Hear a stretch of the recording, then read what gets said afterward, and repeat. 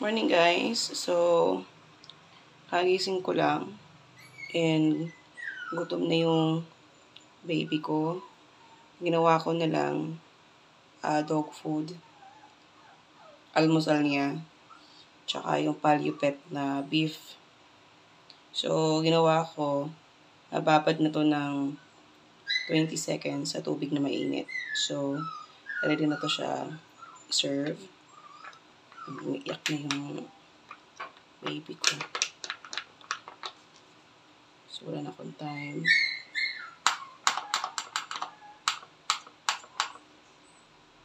Okay.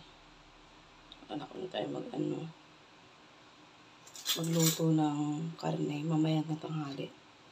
Magkakarne siya mamaya tanghali. Boiled. So, ngayon, ito muna siya.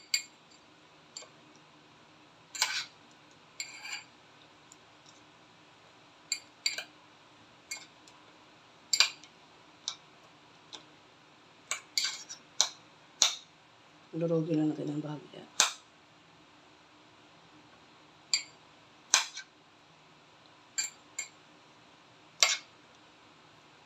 Tapos,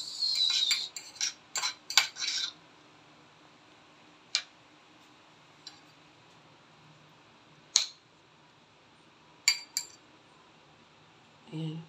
Ito na medyo buo pa. Hindi siya makahintay. Umiyak mo siya. Actually, nagising ako kasi umiyak talaga siya. Tulog pa ako. Nagigising kasi yan. So, okay na to.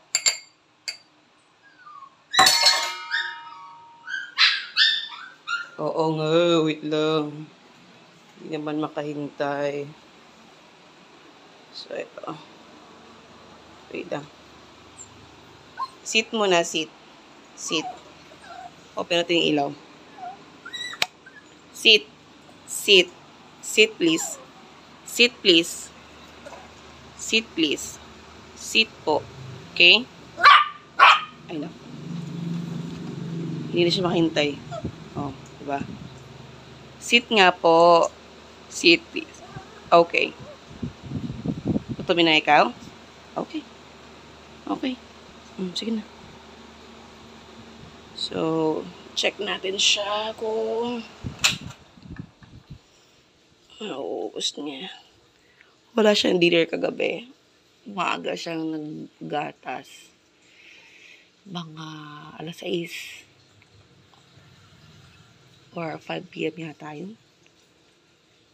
So, dog food lang siya kahapon. Morning siya ka lunch. And then, milk lang siya. Kasi, mahirap na. Hindi ko na siya masyadong kinakompleto yung pagkain niya ng tatlong araw kasi ayun. Okay naman yung gatas niya. Malakas din magatas. Yung goat milk niya. O, diba? Inuna yung karne.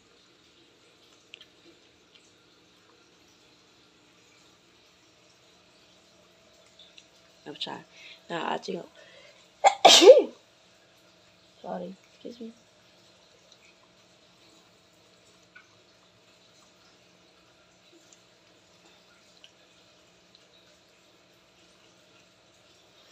So, bali, magta 3 months na siya. Sa March 30. So, March 30, ayun na yung schedule niya for deworming tsaka vaccine. Wala na kaming palio pet. Isa na lang. Beef yung natirang isang flavor. Eh, magkano rin yun? 1,000. So, bibili na lang kami ulit pag may pera. Magiging pagkain na lang niyan, ano is gulay tsaka dog food. Tsaka karne.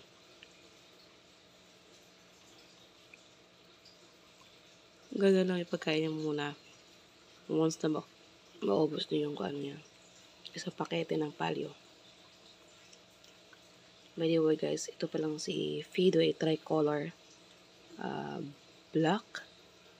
Black tapos brown. White pa nga siya oh. May batok. Tapos ano na siya, para siyang grayish.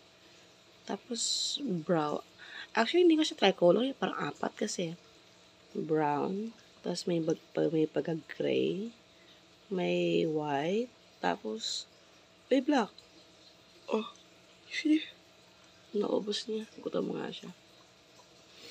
Actually, binili kong dog food, marami yun. So, look at that. Sarap anak? Baka very good mo po talaga to. Mm. Wow. Water ka na. Diba? Imagine mo lang yan. Hmm.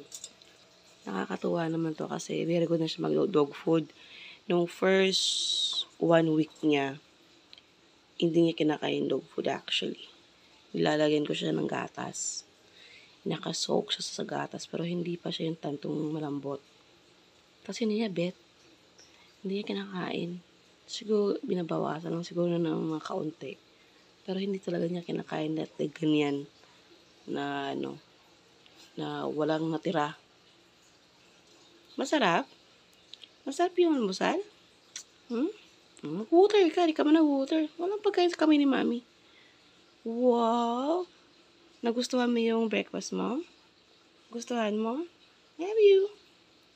Love you. Okay. Love you. So, babe na yan, ha? Okay?